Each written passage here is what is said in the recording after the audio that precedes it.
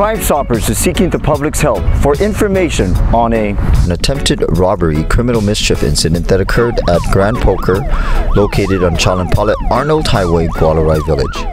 On Tuesday morning at about 4.48 a.m., police responded to an attempted robbery at the Grand Poker located in Gualo Rai.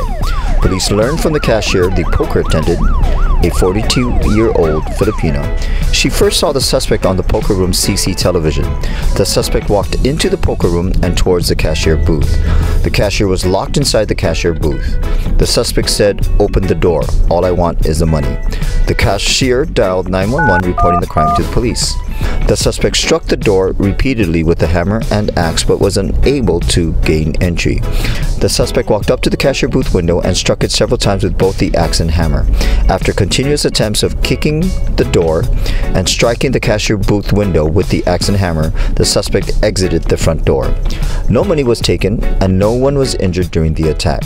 The cashier booth door and glass window were damaged by the suspect who is described as about 5 foot 4 to 5 6 inches tall, medium build, wearing a light colored long sleeve sweater with a hoodie covering his head, black a black cloth covering his face, dark baggy long pants, black shoes, an axe in one hand and a hammer in the other. The Department of Public Safety and Crime Stoppers need your help. Please contact the Crime Stoppers hotline at 234-7272 should you want to remain anonymous or use our website at nmicrimestoppers.net. And remember, Crime Stoppers pays up to $1,000 for any information leading to an arrest. It pays to call.